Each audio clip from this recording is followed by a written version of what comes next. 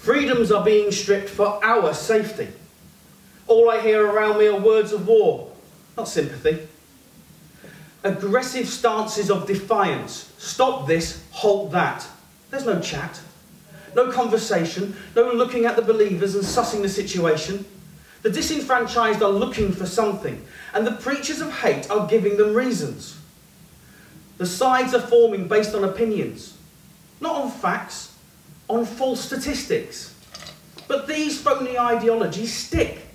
And government on government say in empty words about stopping it at the source and protecting our youth.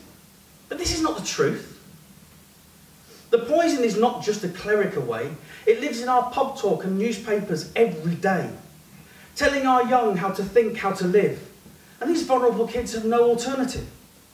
Where are the peddlers of love? Extreme kind. These are the messages that should be on their minds. A radical preacher for tolerance, extremist views of non-violence. Strip away the need for iconography. Believe in what is said, not blind hypocrisy. Teach them that we don't have to live in this hell of extremist Islam and racist EDL. Create the stars for those that see just lights. Put trust in a planet where we don't need to fight. Tell them it's okay. You feel too.